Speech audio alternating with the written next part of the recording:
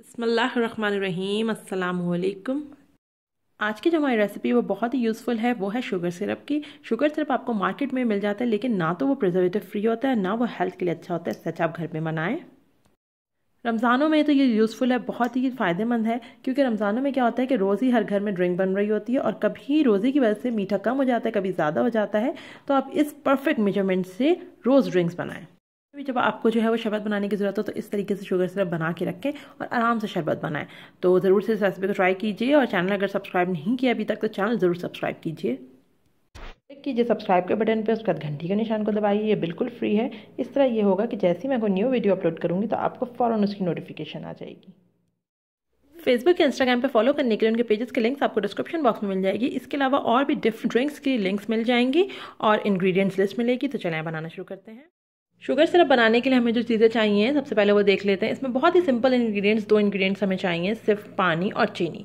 और इसमें जो हम रेशियो रखेंगे, वो टू इस टू वन का रेशियो रखेंगे। यानी कि दो कप मैं इसमें चीनी लूँगी तो एक कप मैं इसमें डालूँगी पानी। और जिस कप से आप चीनी नाप रहे हैं, उसी कप से आप जो है वो पानी लें। ये एक कप मैंने पानी लिया हुआ है, और ये मैं दो कप चीनी लूँगी। अभी एक कप है, एक कप मैं और लूँगी। अच्छा अब हम क्या करेंगे? एक हैवी बॉटम सॉसपैन ले लेंगे। थोड़े मोटे पेंदे का जो हो, इसके अंदर मैंने चीनी डाल दी है। पहले चीनी डाल दें इसके अंदर। अब ये मैं दूसरा कप चीनी डाल रही हूँ। इस तरह दो कप चीनी इसमें जा चुकी है। अब हम एक कप इसके अंदर पानी डाल देंगे। पानी डाल के हम जस्ट इसको मिक्स करेंगे। ये मैंने पानी डाल दिया। बस पानी डाल के हम हल्का सा इसको मिक्स करेंगे। बस इसको घोलना नहीं है। मिक्स करें हल्का सा और इसको चूल्हे पे रख देंगे स्लो फ्लेम पे। बहुत ही धीमी आँच पे हम इसको पकाएँगे। ऐसे मिक्स हो गया। अब मैं इसको चूल्हे पे रख दूँगी।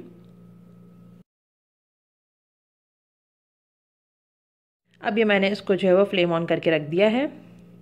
ये मैं आपको फ्लेम दिखा रही हूँ। देखें, बिल्कुल जो दम की आँच होती है, बस वो फ्लेम है। इसी फ्लेम पे इसको स्लो स्लो पकने दें। ज़रूरी नहीं है कि आप चमचा चलाते रहें, बस आप इसको इस तरीके से पकने दें। बीस मिनट बाद हम इसको देखते हैं। बीस मिनट में ये सिरप तैयार हो जाएगा। ये देखें, बीस मिनट बाद आप देखें कितना क्लियर बिल्कुल क्लियर हो चुका है ये।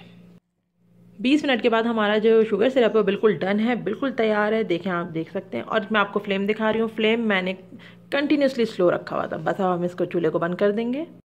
अब मैंने ये ग्लास बॉटल ले ली है, आप कोई भी ग्लास बॉटल ले सकते हैं। इसके अंदर हम छान के सिरप को रख लेंगे रूम टेम्परेचर पर जब वो आ जाए। अब मैं देखें सिरप छान रही हूँ। इससे होता है कोई पार्टिकल्स वगैरह होंगे तो रिमूव हो जाएँगे। सिरप हमने छान लिया है, बस अब मैं इसको कवर करूँगी। और आराम से आप इसको हफ़्ते भर रूम टेम्परेचर पे रख सकते हैं। और अगर आप फ्रिज में रख रहे हैं तो 20 दिन तक आराम से ही रहेगा। इसको कवर कर दें।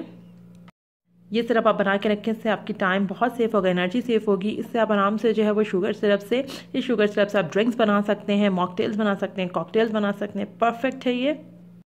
रेसिपी पसंद आने पर रेसिपी को थम्सअप कीजिए चैनल को सब्सक्राइब कीजिए ताकि आगे भी इस तरह की वीडियोज़ मिलती रहें। अल्लाह हाफ़